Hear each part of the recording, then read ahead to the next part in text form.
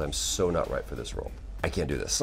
I've instantly got filled with fear, doubt, everything. I literally put my hand on the door and I twist the knob and I'm turning to go and the casting director goes, Troy? I think about that moment a lot. I would still be watching it, I would still be playing it. Um, but I would definitely be on the outside and not where I am right now. You trust me?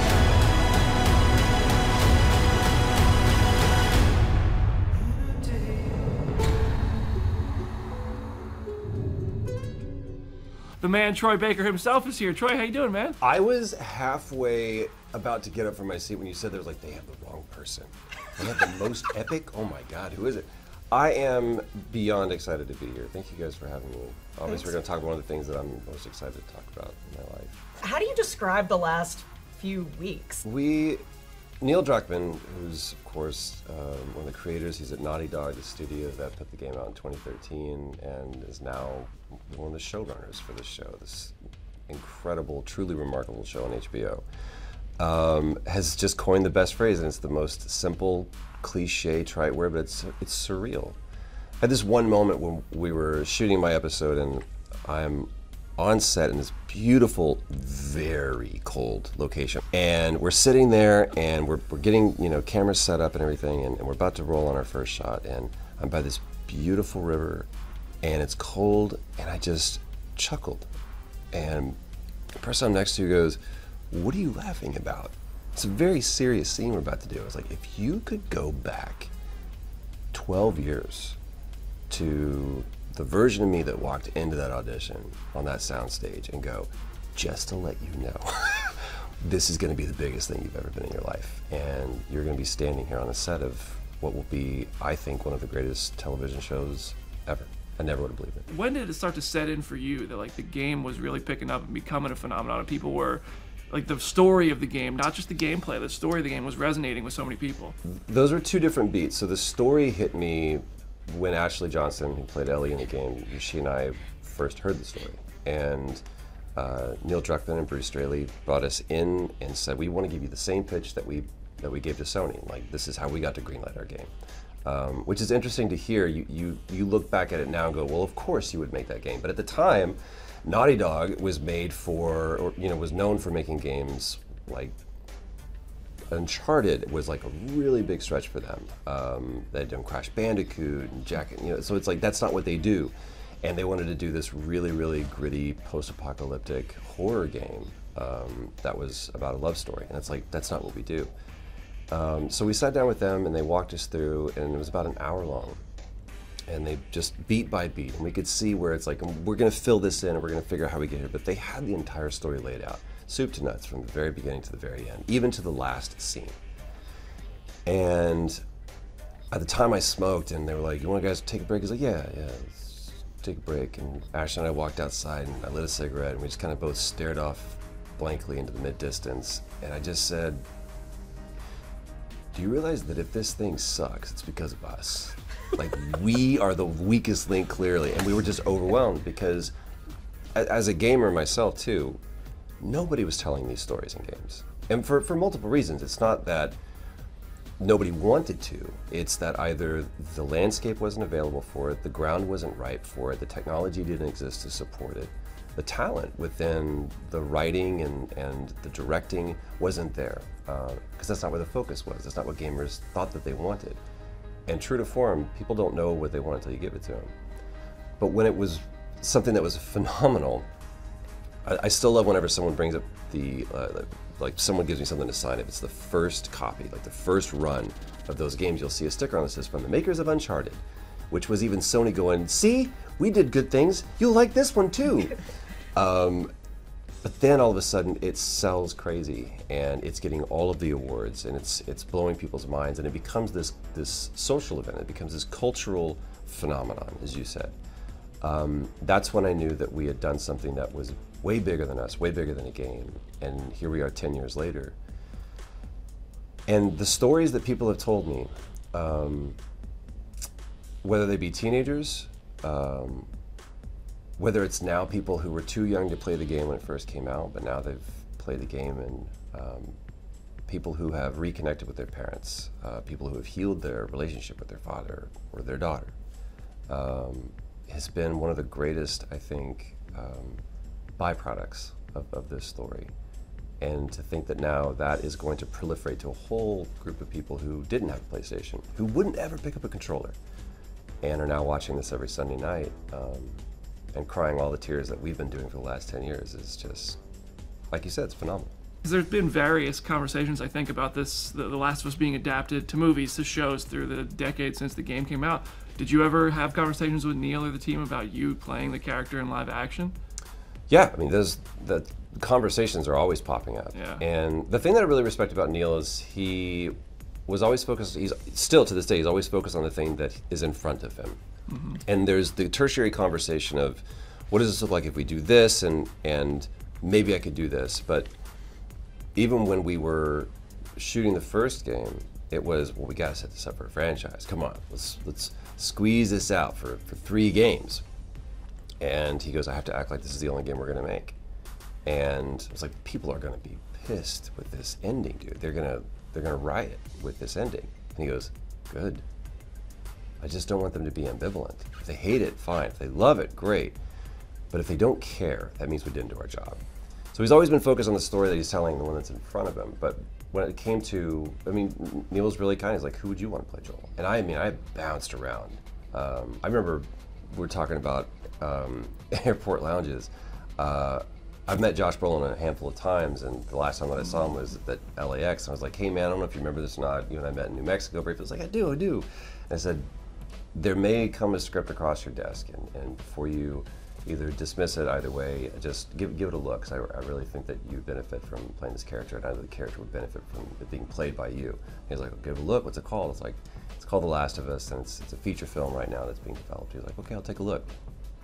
And what's funny is, is that I think Josh Brolin would have been a great choice. I think that there's, you look at the character, especially in the game, and you go, yeah, that maps 100%. That, that Josh Brolin playing that, sure.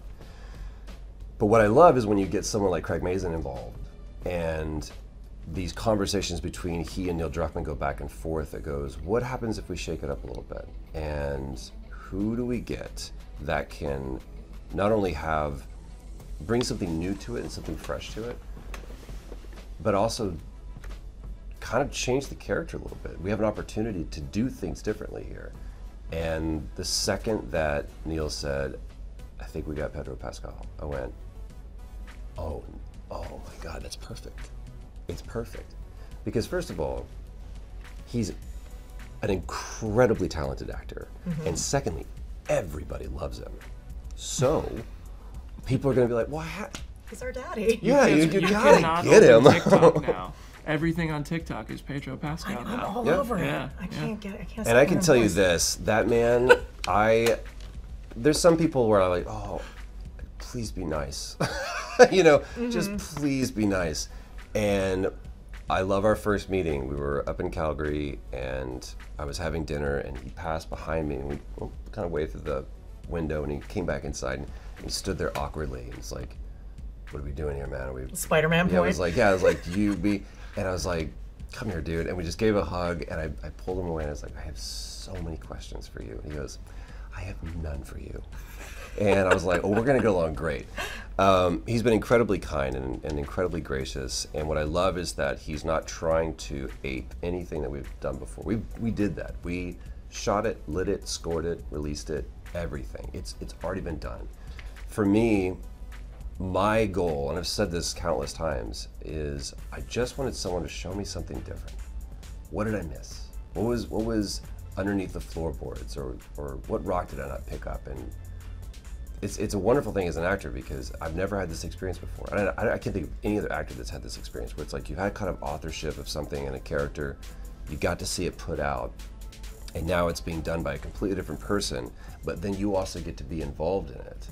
Um, Colm Wilkinson, who played uh, Jean Valjean in the original um, Les Mis, was you know he, he played that character for I think 15 or 20 years, and then retired from it, and then they brought him back, um, not only to do this beautiful tribute to the, the musical, and they lined up every person that plays Jean Valjean, starting with him. And you could see the echoes of his performance in, in every character that it's done. And somehow they, they're standing on his shoulders. So they have to somehow emulate something that he did. But then also in the movie, he plays the priest that Jean Valjean steals the candlesticks from. And it's just like, what a great way to pay tribute. That's the only other example I could think of that I got to do. You've talked about how you think people are going to hate your character coming up when, when you show up on the show. Hopefully. Hopefully. Is it weird to play a part after playing Joel, which has, I mean, the character of Joel gets his own reactions, but overall I think is pretty beloved as a character. You're playing the opposite now. Sure. What's it like to kind of have to switch gears within a similar universe, even though it's a different medium? That's the gig, man. That, and that's something that I truly do enjoy. It is possible for an actor to just view the world and view the story from one lens. And I'm one of those people that subscribe to the theory that there are no villains. There's just a hero from a different perspective. I, I am 100% the hero of that story. And I'm living my movie uh, of, of my own life. Um, and all these other people are, you know, they, they are the they are the antithesis of me, and they, they are the antagonist to my protagonist. Um, so being able to find, it's way more interesting to me to find the empathy in someone and try to understand their perspective. Especially like, that maps to reality. I think that you can't out hate somebody. Um, and that's why empathy has to be the key. I have to find a way to, number one, I have to be the problem because if you're the problem, I can't do anything about you. I can only do something about me. But mm-hmm. if I can make myself the problem, and that makes it smaller, a little bit more manageable, and then if I can find a way to have empathy, then it makes the world easier to deal with. Yeah. I do want to say, I know we don't talk spoilers for the game that haven't happened on the show yet, so I'm just going to leave it at this. I know how this game ends. I was Team Joel the whole time. Mm. I'm just saying, I know it might be a controversial take. I, I was Team Joel. I Same. was Team Joel. Does Team Joel? I get to flip the script. Does Team Joel mean team decision? Oh yeah, I was with the. I I, I think if I was in that position, I, I don't know. Hopefully, I never am. But I I'd be say, dead September 29th. oh, well, if I'm, oh, yeah. 100. Let's just. Somebody asked me, "Is like, would you wait to turn if you were bitten?" I was like, "You think I'd get bitten? Yeah. I am 1201. I am a corpse. There is no me. But you don't think the game prepared? I watched The Walking Dead for 10 years now. I've played sure. through The Last of Us. I feel like a little bit I'm ready. Walking Dead, you're like, if I have a baseball bat and enough of a heads up, I can make it 12 minutes. I, I can do They're slow, much slower. There's like plenty of allusions to Joel having a dark past. He's killed people before. He's done some things that might put him on, you know, Joel sees himself as a good guy because he's his own protagonist, but if you saw his actions, you might not know. I'd love to hear how much of Joel's like past that we didn't see in the game, that we don't see in the show, did you get to like flesh out? Do you have a head headcanon of that you've just worked out over the years? Yes, and it's a wonderful, um, I think it's a wonderful exercise for an actor to come in come in with a backstory. Everything should be motivated. Every decision that you make as an actor should be motivated by something. So if there's nothing there on the page that you're finding that's motivating you, make something up. And if it conflicts with the character, then that's the director's responsibility to tell you that. Um, but there's a lot. There was a shoot that we did, nobody knows about. How about I get in trouble for saying this? Um, in between part one and part two, where we were just kind of testing out some new tech, and so just Neil and I went down to a different stage than we shot on down in, in uh, San Diego, and he was like, "I want to do a couple of scenes from this because I don't really have anything written so far, but I have an idea of the scene for this. Are you comfortable just kind of running a scene by yourself?" I was like, "Sure." And so there's a scene, and that we just kind of made up on, on, on the fly about Joel going into a bar, and so there are all of these backstory moments that we get to find out what happened. Where, where's Sarah's mom. Um, what happened to that relationship? What is the schism between he and Tommy? And the thing that I love about the show is, whereas in the game, the story is fundamental and it is foundational to the experience. But at the end of the day, it is a game, and we need to do things that prompt the player and pull the player forward in the game. Um, and the use of story as a, as a mechanic for that is, is perfect. But a show first of all, we're controlling where you're looking the entire time. So we have the opportunity to go, look over here for a second. If we, if we put the camera over here, we promise you that we'll make it compelling. Like we're gonna slow down and take you to a 20 year time lapse between Bill and Frank. A character relationship you didn't think you cared anything about. But now it's the number. You'll never look at strawberries the same way again. this is what the show has the ability to do, and that also says, well, let's take a look at Joel's backstory and let's let's learn more about that. And that is, there's a beautiful thing that happens as you see now. Would you be interested in exploring that more of that backstory, like if they did a prequel season or maybe a prequel game? The Last of Us Part Zero. Yes. As Yeah. look, one of the things that I think is um, evidence that this is art. I think true art inspires other art, and it inspires artists. Um, there are so many people that picked up the oboe because they heard, you know, that cue that John Williams wrote for Star Wars when two suns were setting. They're like, I want to play th- uh, that instrument. So I think that's art. Is when um, how many people you know started putting a chisel to marble after they saw the David. It's like that is art, and I, I do put The Last of Us the story because I've, I've seen the evidence of it. I've seen people go, I've written my college thesis on this, mm-hmm. or I'm now in games. I'm now working at Naughty Dog because of this game. Half of the people that work at Naughty Dog are because they're there because of The Last of Us. People that were in working on the show because of The Last of Us. There's just this this byproduct again that happens when people get inspired by something, they get moved by something that they want to be a part of making something. And so a lot of people have approached me and like, hey, this is a non canonical story that I was inspired to write because of The Last of Us. Would you want to be a part of it? My whole thing is this. And people always ask, is there going to be a Last of Us Part 3? I have no idea. No idea. I didn't know there was going to be a Part 2. there he goes. But if Neil has a story that he wants to tell, um, and he wants me to be a part of it in any way, I am there seven days a week and twice on Sunday. I, I, I I absolutely would, would follow him, and I have. I've followed him to the gates of hell and back and bought ice cream. Um, I love your little isms. That's the Texas boy in me coming out, which is actually. I don't even remember. I don't remember there being anything in the audition sides, and maybe Neil could correct me on this, that said Joel was from Texas. It was just when I looked at that character, I walked in, and boy, if you, you can Google it, it's not. My jeans reflected light. It was not good. This was like 2008, 2009. Is your audition tape? Yeah, so like Ed Hardy was still mildly acceptable on some social levels.